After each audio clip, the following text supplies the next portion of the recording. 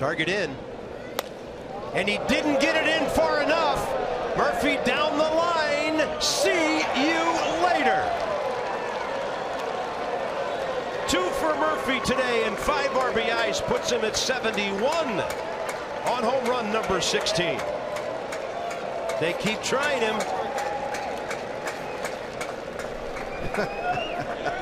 Yeah.